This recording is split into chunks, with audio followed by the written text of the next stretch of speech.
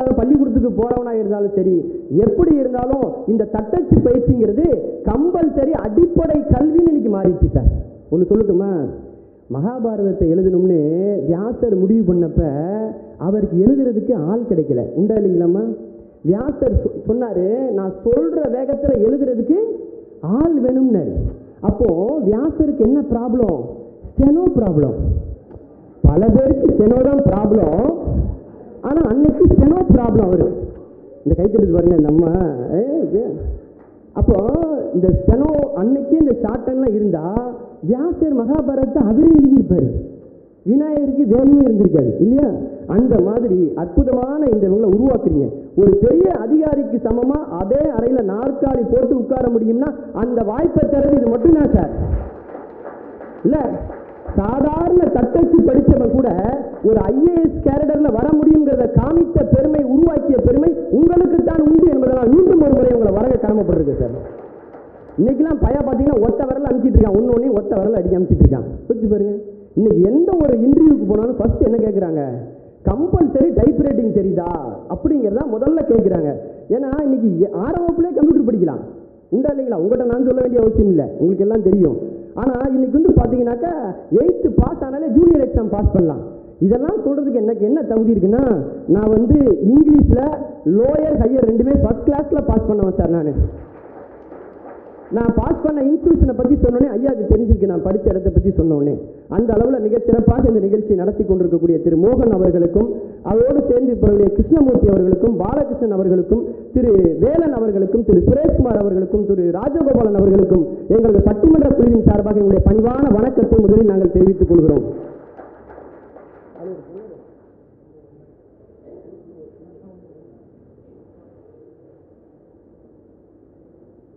சொல்ல எங்களுடைய பட்டிமன்றத்தின் சார்பாக திரு மோகன் அவர்களை இந்த மேடையில் வந்து எங்கள் பட்டிமன்றத்தின் சார்பாக நாங்கள் அவரை கௌரவிக்க ஆசைப்படுறோம் ஐயா அவர்கள் மேடைக்கு வருமாறு கேட்டுக்கொள்கிறோம். நல்லா கைத்தறிக்கு பார்ப்போம் ஒவ்வொரு கேமராவும் உங்களை படம் முடிச்சிட்டு இருக்கு.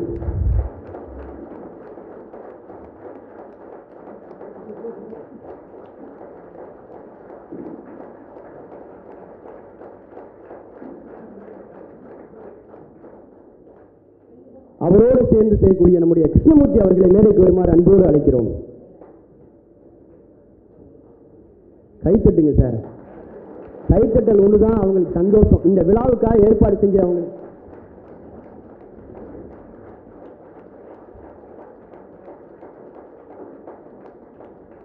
ஏன்னா எங்களுக்கெல்லாம் பொன்னாடை போடலைன்னா நாங்களாம் அதை பற்றி கவலைப்பட பாடப்படும். என்ன ஒரு நிகழ்ச்சிக்கு போட்டு எனக்கு பொன்னாடையே போத்தலை. நான் கவலையே படலையே. பேச ஆரம்பிச்சேனே. ஆரம்பித்தேன் இது போன்ற பல நிகழ்ச்சிகளை பார்த்ததுண்டு கேட்டதுண்டு ரசித்ததுண்டு நடந்ததுண்டு துண்டு துண்டு துண்டுன்னு சொல்லி அந்த துண்டை வாங்குற வரைக்கும் நான் விடவே இல்லையே. கடைசி வரைக்கும் சொல்லி வாங்கிட்டேன். எனக்கு போத்துன ஒரு பொன்னாடை பிஞ்சு இருந்துச்சு சார் கிழிஞ்சு இருந்துச்சு. தெரியுமா? நான் உடனே விடல. இந்த பொன்னாடையை பார்த்தீர்களா? அதில் பூ இருக்கிறது காய் இருக்கிறது பிஞ்சு இருக்கிறது பிஞ்சு இருக்கிறது பிஞ்சு இருக்கிறது பிஞ்சு இருக்கிறது பிஞ்சு இருக்கிறது அப்படின்ட்டேன். அந்த மாரி அருமையா அவரோடு அடுத்து வரக்கூடியவர் நம்முடைய பாலகிருஷ்ணன் அவர்கள் ரொம்ப முக்கியம் அவர் தான் பொருளாளர். நாங்க பேசி முடிச்சோன்னே அவர் தான் கவர் கொடுக்கணும். அதனால நல்ல கைத்தட்டி அவரை கூப்பிட்டு பார்ப்போம்.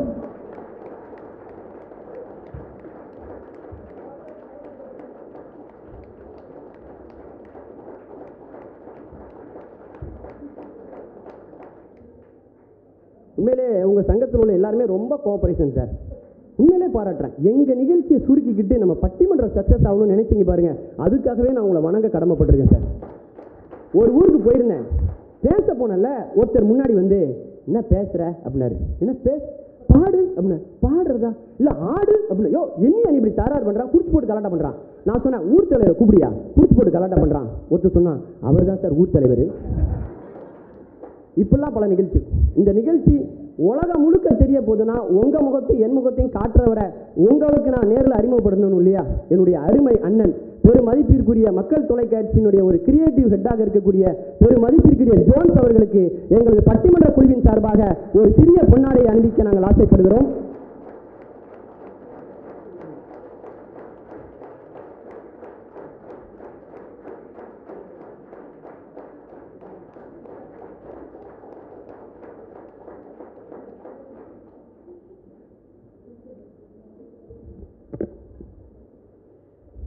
அதனால் இன்னொன்று பேச்சாளர்களுக்கெல்லாம் நான் சொல்லிக்கிறது என்னென்னா ரொம்ப கஷ்டப்பட்டு ஒரு கூட்டத்தை நாங்கள் கூட்டியிருக்கோம்.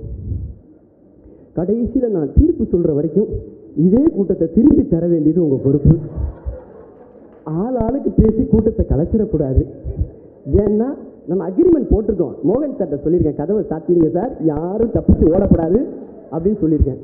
ஏன்னாக்க யாரும் செல்ஃபோன் தான் ஜெயிச்சு சுவிச் ஆஃப் பண்ணிடுங்க. ஏன் சொல்கிறேன்னா நம்ம பேச்சு பிடிக்கலன்னு வைங்களேன் ஃபோன் வந்த மாதிரி பல பேர் எஸ்கேப் ஆயிடுறாங்க நாட்டில். அதனால் எங்கள் ஊரில் ஒரு பேச்சாளர் இருந்தார். அவர் வந்து பார்த்தீங்கன்னாக்கா கன்னிவெடி பேச்சாளர்னு பேர். கூட்டத்தெல்லாம் கலைக்கிறதுக்கு அவரை தான் கூப்பிடுவோம். பேசினார் வைங்களேன் நாலா பக்கமும் கன்னி வெடி போட்டுமே செதறி ஓடும் நாலா பக்கமும். அந்த மாதிரிலாம் இல்லாமல் இங்கே இருக்கிற பேச்சாளர்கள் ஒருத்தர் கூட அப்படி கிடையாது. இங்கே இருக்கிற நூறு பேரை ஆயிரம் பேராக மாற்றி அழைத்து வரக்கூடிய ஆற்றல் மிக்க பேச்சாளர்கள் இங்கே வந்திருக்கிறார்கள். அவர்களுக்கு மீண்டும் ஒரு முறை நீங்கள் கைத்தட்டி இது பண்ணணும்.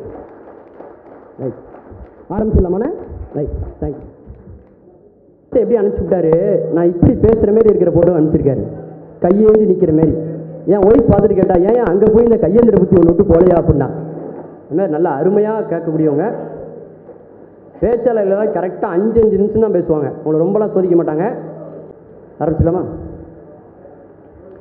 எங்கள் வாழ்வும் எங்கள் வளமும் மங்காத தமிழ் என்று சங்கே முழங்கு.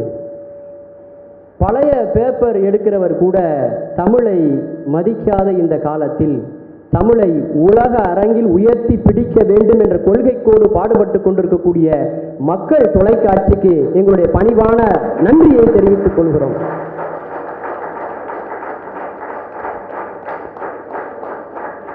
டிவி ரிமோட்ல பேட்டரி கொஞ்சம் சார்ஜ் கம்மியானா நம்ம தட்டி கொடுப்போம் இல்லையா? தட்டி கொடுத்தால் நம்ம சேனலை மாற்றுவோம் மாற்றம் வர வேண்டும் என்றால் தட்டி கொடுக்க வேண்டும்.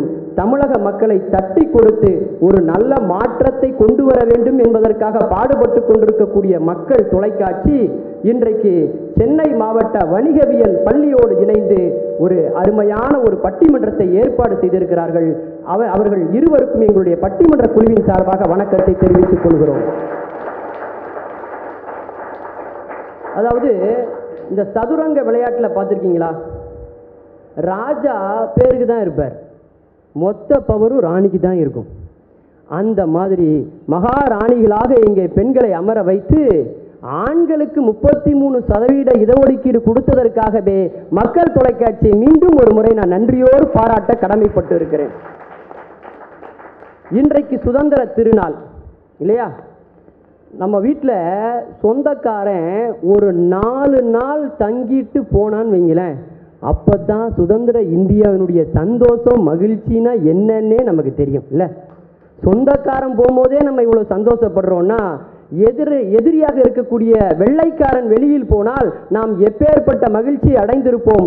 அந்த சுதந்திர திருநாளில் இங்கு வந்திருக்கக்கூடிய அத்துணை பேருக்கும் எங்களை வியக்க வைத்துக் கொண்டிருக்கக்கூடிய மக்கள் தொலைக்காட்சியினுடைய கோடிக்கணக்கான ரசிக பெருமக்களுக்கும் எங்களது சுதந்திர தின வணக்கத்தை முதலில் நான் தெரிவித்துக் கொள்கிறேன். இன்னைக்கு அருமையான ஒரு தலைப்பு. வாழ்க்கையினுடைய வெற்றிக்கு எது காரணம்? படிப்பறிவா அல்லது பட்டறிவா? படிப்பறிவுன்னு பேசுறதுக்கு மூணு பேர் வந்திருக்காங்க. பட்டறிவுன்னு பேசுறதுக்கு மூணு பேர் வந்திருக்காங்க. படிப்பறிவுனா என்ன? பட்டறிவுனா என்ன? ரொம்ப சிம்பிளா சொல்றதா இருந்தா ஒரு கிளாஸ்ல ஃபர்ஸ்ட் பெஞ்சுன்னு ஒன்று இருக்கும். லாஸ்ட் பெஞ்சுன்னு ஒன்று இருக்கும். பார்த்துருக்கீங்களா? ஃபர்ஸ்ட் பெஞ்சா லாஸ்ட் பெஞ்சா அதுதான் சார் பட்டிமன்றமே. இந்த முதல் பெஞ்சில் இருக்கிறவங்க பாருங்களேன் காலேஜ் லைஃப்பில் ரொம்ப ஃப்ரெண்ட்ஸாக க்ளோஸாக இருப்பான். பார்த்துருக்கீங்களா? ஆனால் கல்லூரி காலத்துக்கு அப்புறம் வாழ்நாளில் ஒருத்தன் ஒருத்தன் சந்திச்சுக்கவே மாட்டான். ஆனால் கடைசி பெஞ்சில் இருக்கான் பாருங்க சாகிற வரைக்கும் பிரிய மாட்டான் சார். அதனால தான் மாப்பிள்ளை மச்சான்னு கூப்பிடுவான் அவன். பார்த்துருக்கீங்களா? இந்த முதல் பெஞ்சில் இருக்கிற பையன்கிட்ட படிப்பாற்றல் இருக்கும்.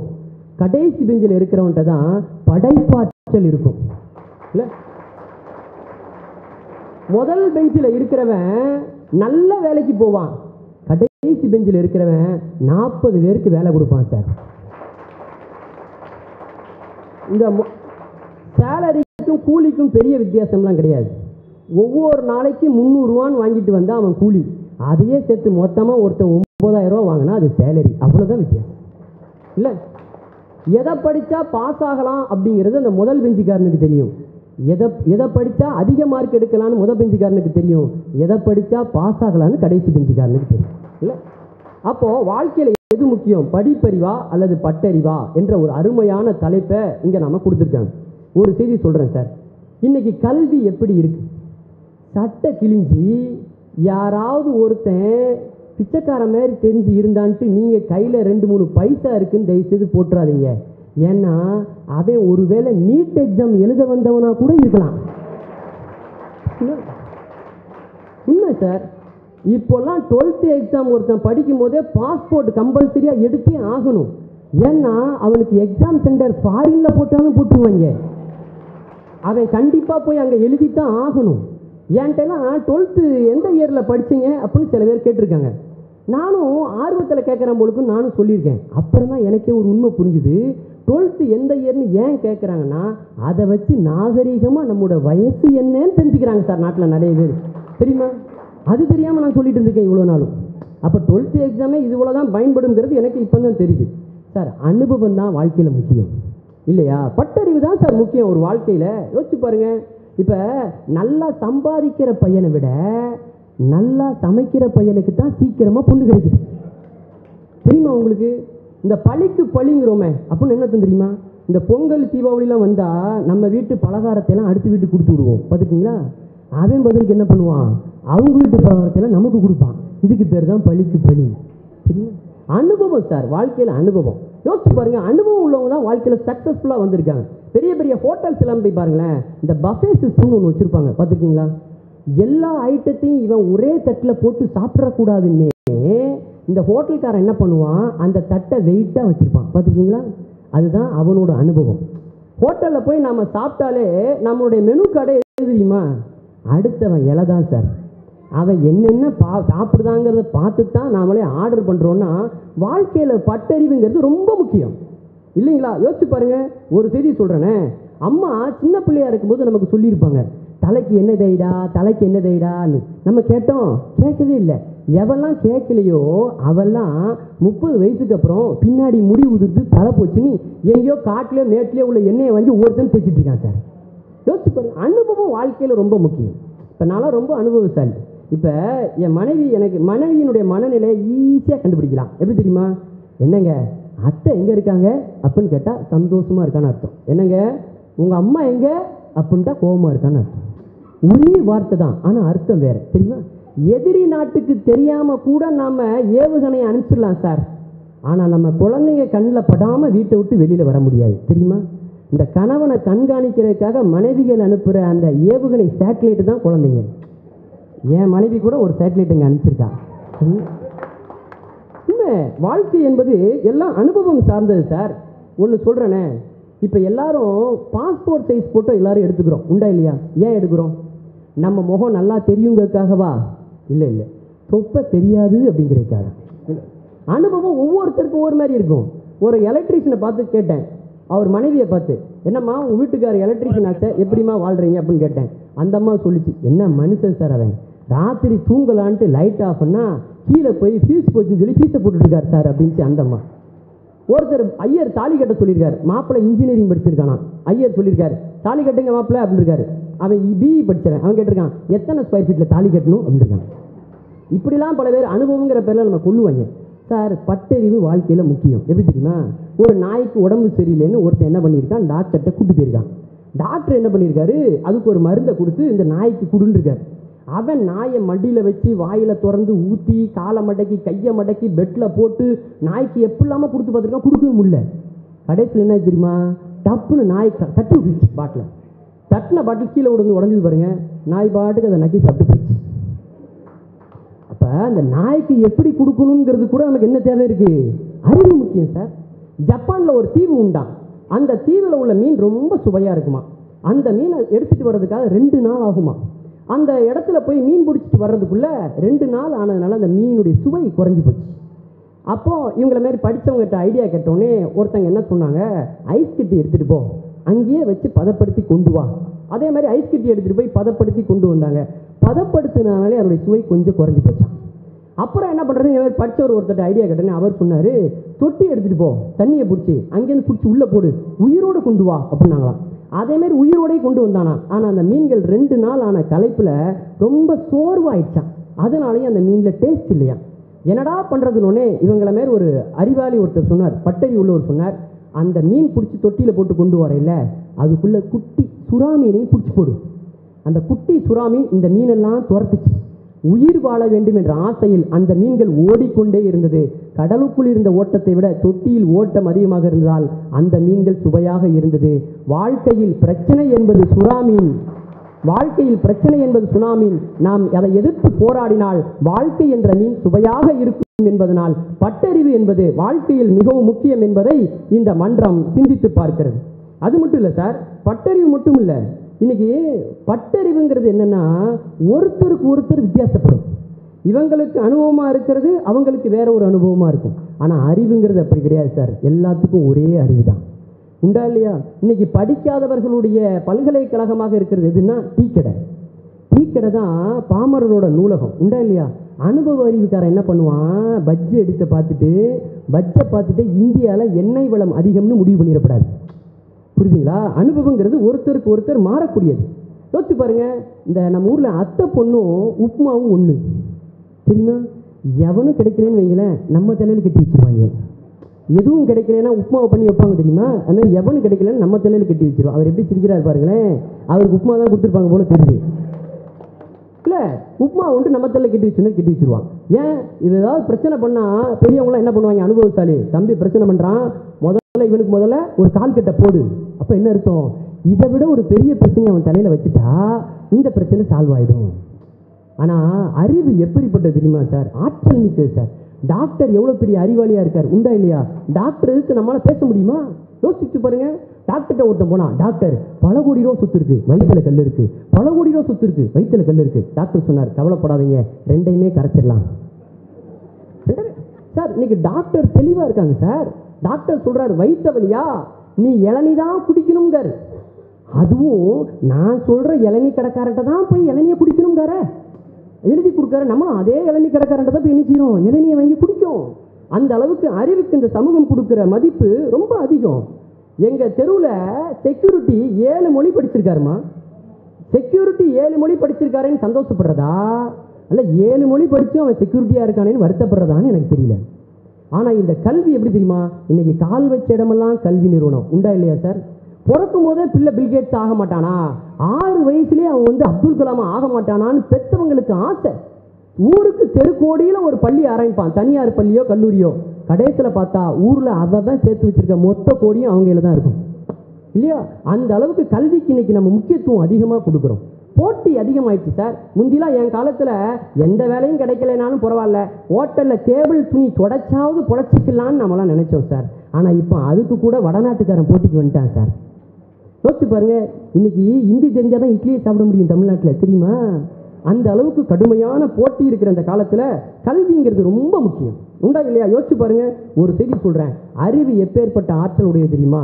பில்கேட்ஸ் அண்ட உலகத்தினுடைய அத்துணை ஏழு பில்லியன் மக்களும் உச்சரிக்கிற ஒரே பெயர் பில்கேட்ஸ் மைக்ரோசாப்டினுடைய தலைவர் பில்கேட்ஸ் ஒரு நாளைக்கு நீங்கள் ஒரு கோடி ரூபாயை செலவு செய்தாலும் அவருடைய சொத்து மதிப்பை நீங்கள் செலவு செய்வதற்கு அறுநூத்தி ஐம்பத்தி மூன்று வருடங்கள் ஆகும் அவருடைய சொத்தை நீங்க காலி பண்ணுறதுக்கு தெரியுமா? அவருடைய சொத்து மதிப்பு மட்டும் ரெண்டு லட்சத்து எழுபதாயிரம் பில்லியன் டாலர் என்று சொன்னால் அறிவின் உச்சத்துக்கு அவரை கொண்டு போனது இவர்களுடைய படிப்பு அறிவு இல்லையா? யோசிச்சு பாருங்க அப்துல் கலாம். அப்துல் கலாம். உலகமே இந்தியாவை பார்த்து மிரண்டது. அக்னி ஆகாசத்தை கிழித்து சென்ற போது உலகமே இந்தியாவை முதல் முதலாக மரியாதையோடு பார்த்தது. போ- ஒரு பேர் ஒளி கேட்ட போது இந்த இரண்டு சாதனைகளுக்கும் பின்னால் இருந்த தன்னம்பிக்கை தமிழர் அப்துல் கலாம். காஷ்மீர் முதல் கன்னியாகுமரி வரை நம்பிக்கையை நடவு செய்த ஒரு நடமாடும் ஆய்வு கூடம் அப்துல் கலாம். கலாம் அவர்களால் ஏவப்பட்ட கலாம் அவர்களால் ஏவப்பட்ட ஏவுகணைகளை விட அனுப்பப்பட்ட ஏவுகணைகளை விட பலப்படுத்தப்பட்ட இளைஞர்கள் அதிகம். இந்தியாவினுடைய மக்கள் தொகையில் இந்தியாவின் மக்கள் தொகையில் இருபது கோடி பேர் இளைஞர்கள். அந்த இருபது கோடி இளைஞனுக்குள்ளும் ஆயிரம் லட்சம் கனவுகள். காரணம் அப்துல் கலாம். கலாம் அவர்களுக்குள் இருந்தது கடல் அளவு நம்பிக்கை. அதுதான் பாரத தேசத்தின் தும்பிக்கை என்று சொல்ல வேண்டும். ஒரு விரலுக்கு ஒரு மோதிரத்தை அணிவித்தால் கூட விளம்பரப்படுத்திக் கொள்கிற இன்றைய உலகத்தில் ஒரு விரலுக்கு மோதிரத்தை அணிவித்தால் கூட விளம்பரப்படுத்திக் கொள்கிற இந்த உலகத்தில் பாரத தேசத்திற்கே ஒரு கிரீடத்தை சூட்டிவிட்டு ஓசை இல்லாமல் வாழ்ந்த உத்தமர் இல்லையா நம்முடைய அப்துல் கலாம்? இந்திய விண்வெளியினுடைய அந்த இருளை ராமேஸ்வரத்திலிருந்து உதித்த அந்த சூரியன் அல்லவா சலவை செய்தது? எப்பேற்பட்ட அறிவின் உச்சம் அப்துல் கலாம். இல்லையா? வ- இந்திய தேசம் முழுக்க ராக்கெட்டால் நிரப்பி கடைசி வரைக்கும் தன்னுடைய பாக்கெட்டை நிரப்பிக் கொள்ளாத ஒரே மனிதர் நம்முடைய அப்துல் கலாம். அறிவினுடைய உச்சம் இல்லையா? அறிவின் உச்சத்தை தொட்டவர்களாலே இந்த பகுத்தறிவுலாம் அங்கே வேலைக்கு வருமா? பட்டறிவுலாம் யோசிச்சு பாருங்க. ஒன்றும் இல்லைங்க. ஆர்கமடிஸ் சைக்ரியூப் அப்படிங்கிற ஊரில் பிறந்தவர் ஆர்கமடிஸ். நீரில் அழுத்தப்படக்கூடிய ஒரு பொருளினுடைய எடையும் தண்ணீரின் வெளியேறக்கூடிய தண்ணீரின் எடையும் ஒன்று என்று கண்டுபிடித்த போது உடம்பில் பொட்டு துணி கூட இல்லாமல் ரோட்டிலே யுரேகா யுரேகா என்று ஓடி வந்தார் ஆர்கம்பி மானத்தை விட ஞானம் பெரியது என்று நினைத்த மாபெரும் விஞ்ஞானி ஆர்கம்பி ரோமாபுரியினுடைய கப்பல்கள் எல்லாம் தாய்மண்ணை பிளப்பதற்காக தயாராகி இருந்த பொழுது சிந்தித்தார் ஆர்கம்பி கத்தி கப்பல்கள் கரைக்கு பக்கத்திலே வருகிற போது யாரும் எதுவுமே செய்யாமல் கப்பல் எல்லாம் தீப்பிடித்து தீப்பிடித்து எரிந்தது. காரணம் நம்முடைய ஆர்கமிடிஸ் வைத்த நிலை கண்ணாடிகள். சூரியனை பிரதிபலித்து துப்பியது சூடாக. அந்த கதிரினுடைய சூடு தாங்காமல் போர்க்கப்பலினுடைய அந்த பாய்மர படுதாக்கள் எல்லாம் பற்றி எறிந்தது ஆயிரம் வீரர்கள் சாதிக்க முடியாததை ஒரு விஞ்ஞானி சாதித்தார். அவர்தான் நம்முடைய ஆர்கமிடிஸ் என்றால் அறிவு எப்பேற்பட்ட உச்சத்திலே போர் ஆனா ஆர்கமிடிஸ்ட அந்த சைக்கு டியூப் அந்த நாட்டினுடைய மன்னன் கேட்டான் சாக்ரட்டிஸ் உன்னால மன்னிக்கணும். அந்த சைக்கிளிஸ் நாட்டினுடைய மன்னன் கேட்டான் ஆர்கமிடிஸை பார்த்து கேட்டான் ஆர்கமிடிஸ் உன்னால முடியாது உலகத்தில் எதுவுமே கிடையாதா? ஆர்கமிடிஸ் சொன்னார் இந்த உலகத்துக்கு வெளியே நான் நிற்பதற்கு ஒரு சிறு இடத்தை தாருங்கள். இந்த உலகத்தையே நான் அசைத்து காட்டுகிறேன் என்று சொன்ன மிகப்பெரிய அறிவாளி யார் என்றால் நம்முடைய ஆர்கமிடிஸ் ஆனால் உலகத்துக்கு வெளியில தனியா நிக்கிறதுக்கு ஒரு இடத்தை யாராலையும் கொடுக்கவே முடியாது சார். அந்த இடம்தான் விஞ்ஞானம் தோற்று நம்முடைய மெஞ்ஞானம் ஜெயிக்கக்கூடிய இடம். தெரியுமா? கண்ணை மூடிக்கிட்டு காத்தையே உணவா எடுத்துக்கொண்டு வானத்துக்கு மேல இத்தனை கோள் இருக்கு இத்தனை நட்சத்திரம் இருக்குன்னு நம்ம சித்த புருஷர்கள் எல்லாம் இந்த பட்டறிவை வச்சு இல்லையா சொன்னாங்க? யோசிச்சு பாருங்க திருமூலர்லாம் நூத்தி எட்டு புவனங்களுக்கு போயிருக்கார். ஒரு கோள்ல ஒரு சேட்டலைட்டை விட்டு ஒரு பிளானட்டுக்கு போகிறதுக்கே நமக்கு இவ்வளோ வருஷம் ஆகுது. ஆனால் இந்த மாதிரி நூற்றி எட்டு சூரிய குடும்பங்களுக்கு தன்னுடைய ஞான திருஷ்டியால் போயிருக்கிறார் என்றால் படிப்பறிவை காட்டிலும் ஒரு அடி பட்டறிவு மேலே போகுவதனாலே எனக்கு மாபெரும் குழப்பம் இதில் இருப்பதால் இதை தீர்த்து வைப்பதற்கு இந்த அறிஞர் பெருமக்களால் தான் முடியும் என்பதனால் உங்களைப் போல நானும் ஒரு சுவஞ்சனாக மாறி இந்த நிகழ்ச்சியை அவர்கள் வசம் ஒப்படைக்கிறேன் என்று சொல்லி மிக அற்புதமான இந்த நிகழ்ச்சி ஏற்பாடு செய்திருக்கக்கூடிய சென்னை மாவட்ட வணிகவியல் பள்ளி அவர்களை மீண்டும் ஒருமுறை வாழ்த்தி இந்த பட்டறிவு பகுத்தறிவுங்கிறதெல்லாம் ரொம்ப முக்கியமான வார்த்தை இந்த டைப் ரைட்டிங் சார் இல்லையா? முத முதல்ல எல்லாரும் ஒரு சைக்கிள்னு ஒன்று வாங்க ஆரம்பிச்சோன்னே முதல்ல டைப் ரைட்டிங் கிளாஸ் தான் போவோம். உண்டா இல்லையா? அதில் போய் அந்த ஏஎஸ்டிஎஃப் அப்படின்னு அடிப்போம். டைப் ரைட்டிங்கிறது ரொம்ப மஸ்ட்டு அதே மாதிரி ஷார்டன் அப்படிங்கிறதெல்லாம் பார்த்தீங்கன்னா பெரிய விஷயம் சார் நீதிபதி மேலே உட்காந்துருப்பார் அவருக்கு கீழே உள்ள இருக்கையில் உட்காந்து ஒருத்தர் டைப் அடிச்சிட்டு இருப்பார். பார்த்துருக்கீங்களா? இப்பெல்லாம் பல நீதிபதிகள் யாரையும் நம்பாமல் அவங்களே கைப்பட டீப்பை அடித்தே கொண்டு வந்துடுறாங்க. இல்லையா? அந்த அளவுக்கு இன்னைக்கு புகழின் உச்சத்துக்கு போயிருக்கிறது என்பதை உள்வாங்கி மிக அற்புதமாக பேசக்கூடிய நினைவாற்றல் கலை நிபுணர் பெரும் மதிப்பிற்குரிய எங்களுடைய மேடை ஆளுமை மிக்க திருமதி மீனாகுமாரி அம்மா அவர்கள் இப்பொழுது உங்கள் மத்தியில் பேச வருகிறார்கள். அதற்கு முன்னால் ஒரு நிமிடம் பட்டிமன்ற பேச்சாளர்களை முறைப்படி அறிமுகப்படுத்த வேண்டும். வாழ்க்கையின் வெற்றிக்கு பெரிதும் தேவை. பட்டறிவே என்று பேசுவதற்காக வந்திருக்கிறார். சென்னையில் இருக்கு எஞ்சி வணக்கம் போடுங்கம்மா. சொல்லும்போது வாழ்க்கையின் வெற்றிக்கு பெரிதும் தேவை பட்டறிவே என்று பேசுவதற்காக சசிரேகா அவர்கள் வந்திருக்கிறார்கள். அவர்களை தொடர்ந்து செல்வன் லோகேஷ். அதே அணியில் அவருக்கு துணையாக பேசுவதற்காக செல்வி வைஷ்ணவி அவர்கள் வந்திருக்கிறார்கள். அதே மாதிரி இந்த அணிக்கு தலைமை தாங்கி இருப்பவர் நினைவாற்றல் கலை நிபுணர் திரு மதிப்பீர்குரி அம்மா திருமதி மீனாகுமாரி அவர்கள் வந்திருக்கிறார்கள். அவரை தொடர்ந்து அவருக்கு அடுத்து இருக்கக்கூடியவர் திரு செல்வன் பிரபாகரன் அவர்கள் இப்பொழுது வந்திருக்கிறார். அவருக்கு அடுத்ததாக அதே அணியிலே பேசுவதற்காக வந்திருக்கக்கூடியவர் திருமதி பாரதி கௌரி சங்கர் அவர்கள்.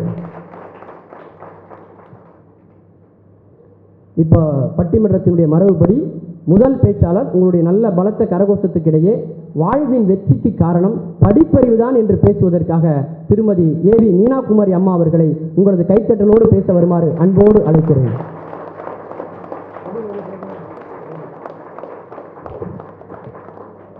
ஜெய் ஸ்ரீராம். என்னை ஈண்டெடுத்த என் தாயையும் என்னை வளர்த்த தமிழ்மொழியையும் வணங்கி வாழ்த்துகிறேன். இந்த நாளில் இந்த இனிமையான பொழுதில் எழுச்சியாக வந்துள்ளோர் அனைவருக்கும் இந்த நிகழ்ச்சியை வெகு விமரிசையாக அமைத்துக் கொடுத்த மக்கள் தொலைக்காட்சிக்கும் வணிகவியல் சங்கத்திற்கும் என் வணக்கத்தை கூறி ஐயா இன்னரும் கனி சோலைகள் செய்தல் இனிய நீர்த்தன் சுனைகள் இயற்றல் அன்ன சத்திரம் ஆயிரம் வைத்தல் ஆலயம் பதினாயிரம் நாட்டல் பின்னருள்ள தர்மங்கள் யாவினும் பெயர் விளங்க ஓங்கி மிளரச் செய்தல். அன்னையாவினும் புண்ணியம் கோடி. ஆங்கோர் ஏழைக்கு எழுத்தறிவித்தல் அப்படின்ற பாடலை நீங்கள் கேட்டிருப்பீங்கன்னு நினைக்கிறேன். இந்த பாடலில் நாம் சிந்திக்கிறதுக்கு முன்னாடி பழைய காலத்து அரசவைகள் எல்லாம் பார்த்துருந்தோமானால் அரசர் அரசபை கூடிய உடனே தன்னுடைய மந்திரிமார்களை பார்த்து கேட்கக்கூடிய ஒரே கேள்வி மாதம் மும்மாறி பொழிந்ததா? அப்படின்னு கேட்பாரு அப்படின்னு நம்ம பார்த்துருக்கோம். ஏன் அந்த கேள்வி வந்தது அப்படின்னு சொன்னால் வாழ்வும் வளமும் சீராகவும் சிறப்பாகவும் நாட்டு மக்களிடையே இருக்கிறதா எந்த குறையும் இன்றி இருக்கிறார்களா என்று தெரிவதற்காக அவர்கள் கேட்பார்கள். அப்படி இருந்த அரசர் காலத்திலும் நமக்கு புத்தகத்தில் கொடுத்தது என்னவென்றால் புத்தகத்தில் பார்த்தீர்கள்னா அசோகம் அசோகன் மரம் வெட்டினான் மரம் நட்டான் குளம் வெட்டினான் கோவில் கட்டினான் இதெல்லாம் இருக்கிறதோட கூட சேர்த்து பள்ளி சாலைகள் அமைத்தான் பாரதியார் பாடல்லையே அழகா பாடியிருக்காங்க இல்லையா? அம்மா எனக்கு ஒரு சின்ன சந்தேகம். ஆங்கோர் ஏழைக்கு எழுத்தறிவித்தார் பாரதியார். இன்னைக்கு ஏழைக்கு யாராவது எழுத்தறிவிக்கிறான்னு நினைக்கிறீங்க? ஐயா ஏழை என்ன பணத்தினால் ஏழை அல்ல அறிவு பசியினால் ஏழைகள். அந்த அறிவு பசியோடு இருக்கும் ஏழைக்கு எழுத்தறிவிக்கிறது தான் ஐயா? சா- பள்ளியினுடைய சாதனை. அந்த ஏன் அந்த எழுத்து அறிவிக்கணும்? ஏன் படிக்கணும்? எதற்கு படிப்பு அப்படின்னு சொன்னோன்னா ஒரு மனிதன் சீராக சிந்தித்து செயல்பட வேண்டுமானால் ஒரு சின்ன கதை மூலம் சொல்லிடலாமே. ஒரு ஏழை பெண்மணி அவர்களுக்கு கண் தெரியாத ஒரு கணவர் அவருக்கு ஒரு மகன். அந்த மகன் முடம் அதாவது கால் நடக்க இயலாதவர். இப்படிப்பட்ட ஒரு சூழ்நிலையில் ஆண்டவன் அந்த பெண்மணியின் முன் தோன்றுகிறார். தோன்றி உனக்கு என்ன வரம் வேண்டும்? கேள். ஒரே ஒரு வரம் தான் கேட்க வேண்டும். உனக்கு எது வேண்டும்? பொன் வேண்டுமா? பொருள் வேண்டுமா? உன் கணவனின் கண் வேண்டுமா? இல்லை உன் மகனின் கால் வேண்டுமா? அப்படின்னு ஒன்று கேள்வி கேட்குறாங்க கேட்டா அந்த பெண்மணி சிறிது கூட சிந்திக்காம உடனடியாக என்ன சொல்றாங்கன்னா நான் தங்க கிண்ணத்தில் சாதம் பிசைய அதை என் கணவர் கண்டு கண்டு கழிக்க என் மகன் ஓடோடி வந்து உணவருந்த வேண்டும்னு கேட்டா. சபாஷ் சபாஷ் சபாஷ். எப்படி கேட்க முடியும்னா அவ்வளவு தூரம் சாதுரியமா சிந்திக்க வைக்கக்கூடியது இந்த படிப்பறிவு. படிப்பறிவு இருந்தால் மட்டுமே இல்லைன்னா நாமெல்லாம் என்ன பண்ணியிருப்போம்? ஆ பணம் இருந்தால் எல்லாம் பண்ணிடலாம் இல்லையா? சொல்லுவாங்க இல்லை பணம் இருந்தால் மெத்தை வாங்கலாம் தூக்கம் வாங்க முடியாது அப்படின்னு. ஆனா என்ன நினைப்பு இன்னைக்கு காலகட்டத்தில் இருக்குன்னா பணம் இருந்தால் எல்லாம் பண்ணலான்னு. இங்க அப்படி இல்லை. படிப்பறிவு இருந்ததுனால ஒரே நிமிடத்துல சிந்திக்கக்கூடிய அளவுல அந்த திறமை இருந்தது. இன்னைக்கு தேவை என்ன ஐயா? ஐயா நீங்க ஒரு முனைவர். உங்க துறைக்கு நீங்க ஆள் தேவை என்று பார்க்கிறீர்கள். முதலில் எதை பார்ப்பீர்கள்? என்ன கேள்வி கேட்பீங்க? படிப்பு என்ன பண்ணுங்க நீங்க என்ன படிச்சிருக்கீங்கன்னு தான் கேட்பீங்க. அதை வச்சு தானே ஐயா ஒரு உடனே வாழ்க்கையே அந்த பணத்துக்கு தேவை ஒரு உத்தியோகம் அப்படின்னா அந்த உத்தியோகத்துக்கு தேவை கல்வி தானே ஐயா. அந்த கல்வி இருப்பவனே வாழ்க்கையில் வெற்றியாளனாக இருக்க முடியும் என்பதில் சந்தேகமே இல்லை. ஐயா உங்க பேரு? நெல்லை சுப்பையா. வெறும் நெல்லை சுப்பையா தானே? அப்படி சொல்லலையே இங்க சொல்லும் நெல்லை சுப்பையா. இன்னும் கூட என்னெல்லாமோ சொன்னாங்களே ஐயா. நிறைய பட்டங்கள் என்ன நம்ம பெயரை விட நம்ம அம்மா நமக்கு வைத்த பெயரை விடவும் எது முக்கியமா இருக்கு? முனைவர். பட்டப்பெயரும் பட்டங்களும் தான் நம்மளை அலங்கரிக்கின்றன. அந்த பட்டமும் பட்டங்களும் இருப்பதனால் தான் இன்று நீங்கள் நடுவராக இருக்கிறீர்கள். நாங்கள் இங்கு. வேலைக்கு வந்து பேச வந்திருக்கோம். நம்ம பேருக்கு முன்னாடி இருக்கிற இன்சியலை விட நம்ம பேருக்கு பின்னாடி விழுற இன்சியலுக்கு காரணமே வந்து ஒரு காலத்தில் கை நாட்டா இருந்த நம்ம அம்மா அப்பாவால தான் பேருக்கு பின்னாடி இன்சியல் விடுதுன்னா கல்வி முக்கியம். அருமை. இதுல பழைய காலத்து ஒரு பாடலையே சொல்லலாமே. பல நூல் படித்து நீ அறியும் கல்வி. பொது நலத்தினுக்கு நீ வழங்கும் செல்வம். பிறர் உயர்வினிலே உனக்கு இருக்கும் இன்பம் இவை அனைத்திலுமே இருப்பதுதான் தெய்வம். அந்த காலத்துல ரிக்ஷாக்காரன்ற படம் பாபுவாக நம்ம சிவாலி சிவாஜி கணேசன் நடந்த படம் நடித்த படம் அதில் அவன் மகளை பார்த்து சொல்வது என்னன்னா பல நூல் படித்து நீ அறியும் கல்வி. அது உன்னை எந்த அளவுக்கு கொண்டு போகும் அப்படின்னா ஐயா கல்வி என்பது பணத்திற்காகவோ பட்டத்திற்காகவோ மட்டுமல்ல எங்க போகணும் அடுத்த நிலை என்ன? ஒரு மனிதன் ஒரு வாழ்வு. நம்ம சிவபுராணத்தில் சொன்ன போல புல்லாய் பூண்டாய் புழுவாய் மரமாகி பல்விருகமாகி பறவையாய் பாம்பாகி கல்லாய் மனிதராய் பேயாய் கணங்களாய் பல்விருகமாகி முனிவராய் தேவராய் இத்தாவர சங்கமத்துள் எல்லா பிறப்பும் பிறந்தளித்தேன் அப்படின்னா எல்லா பிறப்பும் பிறந்து இழைச்சாச்சு. அப்புறம் என்ன பண்ணணும்? எங்க போகணும்? எந்த நிலையை அடையணும்? அந்த உன்னதமான நிலையை அடைவதற்கு இறைவனை உணர்வதற்கு அதுதான் நமக்கு அல்டிமேட் கோல் ஒவ்வொரு மனுஷனுக்கும் பிறந்தோம் வளர்ந்தோம் என்று இருப்பதில்லாமல் நாம் பிறந்தோம் என்றது நம்ம அப்துல் கலாம் ஐயா சொல்றா போல இல்ல. பிறப்பு ஒரு சம்பவமாகலாம். ஆனால் இறப்பு ஒரு சரித்திரமாக இருக்க வேண்டும் சொல்லியிருக்காரு. அப்படிப்பட்ட ஒரு நிகழ்வு வேண்டுமானால் கல்வி அறிவுடன் செயல்பட்டால் தான் அது கண்டிப்பாக முடியும். ஐயா உங்களுக்கு உங்க சேட்டலைட் வந்திருக்காங்க சொன்னீங்க. எல்லாரும் சேட்டலைட் இல்ல. அவங்க நாளைக்கு கல்யாண வயதை அடையும் போது நீங்க எப்படிப்பட்ட மாப்பிள்ளையை தேர்ந்தெடுப்பீங்க? ஒரு நல்ல ரிசீவரா பார்த்து செலக்ட் பண்ணுவோமா? இன்ஜினியரா படித்தவரா பார்ப்பார். ஏன் படித்தவரா பார்க்கிறார்கள் என்றால் அந்த படித்தவனுக்கு பண்பு இருக்கும். நமக்கு வந்து அங்க பணம் வர்றது ஒரு பக்கம்.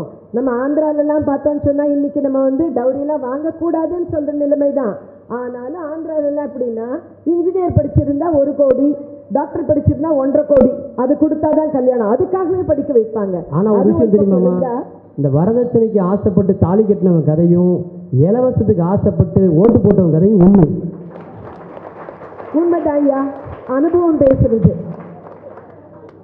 தமிழ்நாடோட மக்களோட மைண்டு வாய்ஸ் மாறிது ஐயா மனநிலை இல்லை.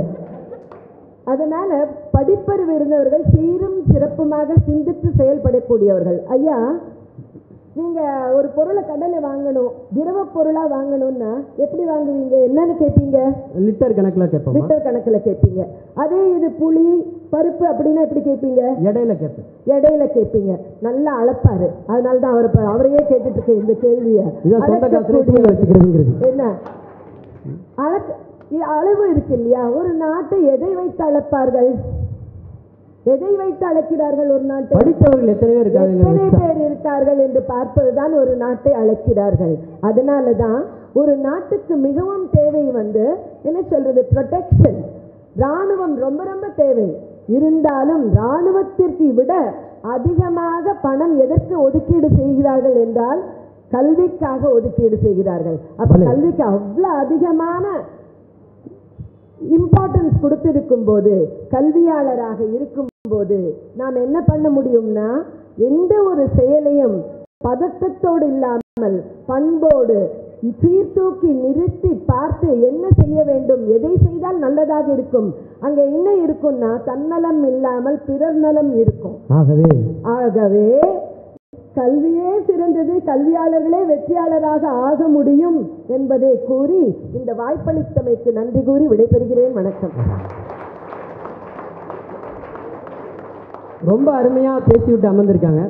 எங்களுக்குள்ள ஒரு கோடு வேர்டு. என்ன அப்படின்னா ஆகவே அப்படின்னு சொன்னா பேச்சை முடிச்சிடணும் அப்படின்னு அர்த்தம். அதனால அதுக்கப்புறமும்